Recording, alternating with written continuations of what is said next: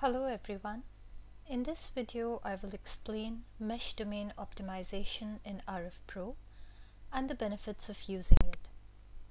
In the latest release of ADS 2025, it is now possible to view the mesh in Mesh Domain Optimization applied on designs, which was not possible in earlier versions. So let's explore this feature with the help of a demo ex example.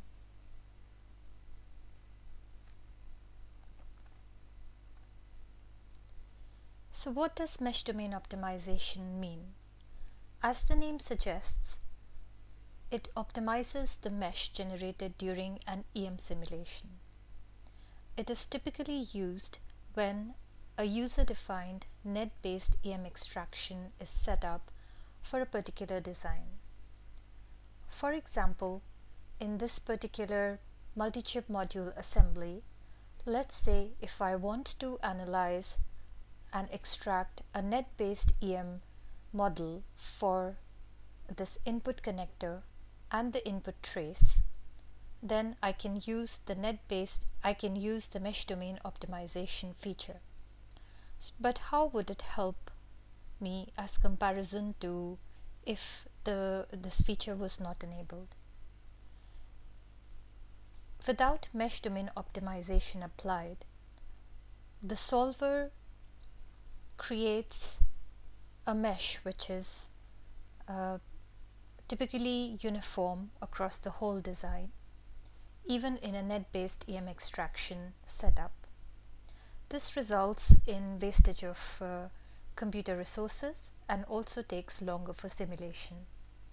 However, if you apply mesh domain optimization, the solver will create a mesh which is fine and as required for uh, the computation of the result in the area of interest while a coarse mesh will be created in the areas of the design or assembly far away from the area where net-based EM extraction is applied. This method enables faster simulations and also uses less memory on the computer. Let's visualize this using this particular example.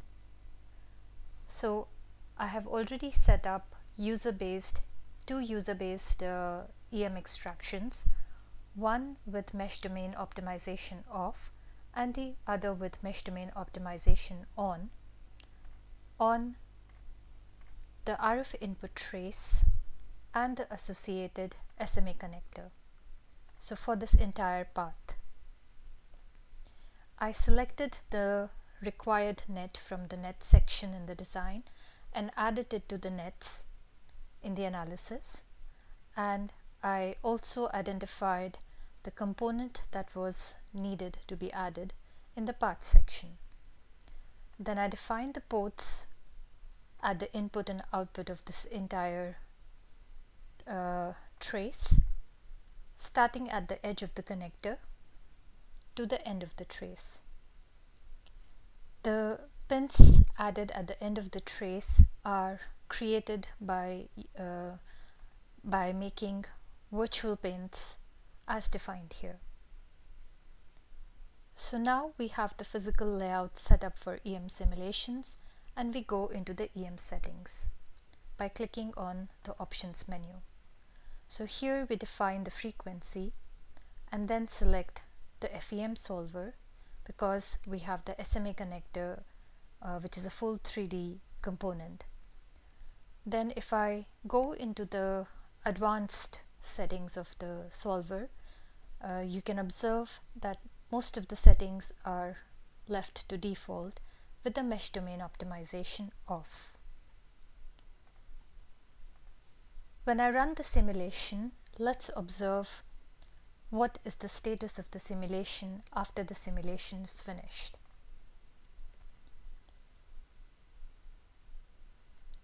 You can see here that the uh, computation of the result uses about 11 GBs of memory on my computer and this simulation took 25 minutes to complete.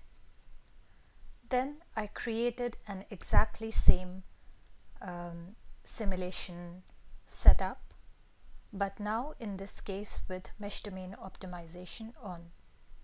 To create a duplicate um, uh, analysis just right click on the name of the first analysis go to copy and create to duplicate. This will help you uh, saving time on creating the entire simulation setup again.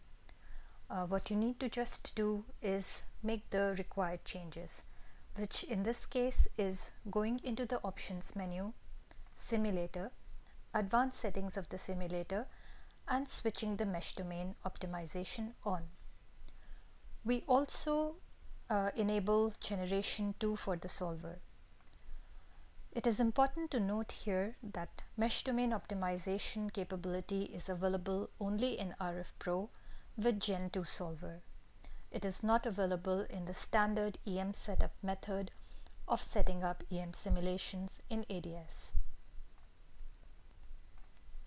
Now with mesh domain optimization enabled, I ran the simulation and let's look at the simulation log.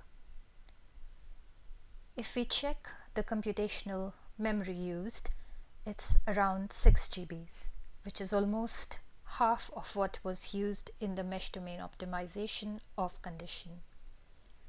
And if we look at the time uh, used for the simulation, it's around 13 minutes, again approximately half of the time of mesh domain of condition. Hence, we benefit both in speed up of the simulation and also uh, lower consumption of the memory on the computer. Now let's also look at the results which means let's look at how the uh, mesh density is generated in both the case. In the case of um, mesh domain optimization off and on. So if I go back to the analysis and to the results section, I can double click on the mesh option to view how the mesh is generated when there is no mesh domain optimization applied.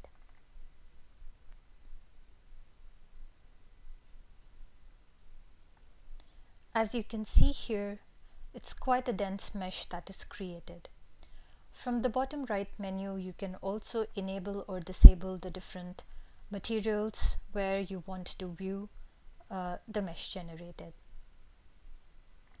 Let's unload this result and go to the second analysis where the mesh domain optimization has been enabled and view the mesh and observe the differences.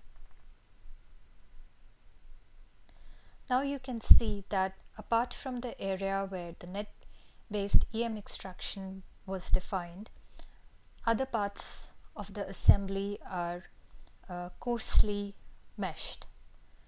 This is what really helps in reducing um, the amount of memory used in computation of results and also speeds up the simulation.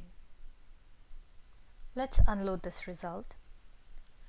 Another question that comes up is how about the accuracy of results after applying mesh domain optimization?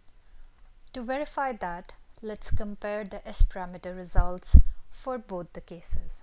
To do that, I choose both the analysis, right click on them and click on show S parameter results. This opens up the results window with the S parameter graph and the S matrix.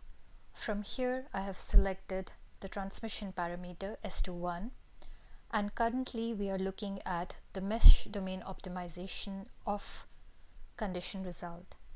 I'm going to enable the mesh domain optimization on result to see the comparison. As you can see, uh, the results quite closely match. Hence, it can be concluded that mesh domain optimization is not deviating the output results from the actual full simulation. So we have seen that using mesh domain optimization feature in RF Pro for net-based EM extractions makes your EM simulations faster um, and memory efficient and help you in creating faster analysis of your designs without making much of a compromise on the accuracy of the results.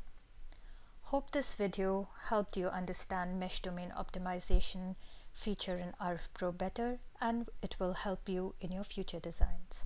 Thank you.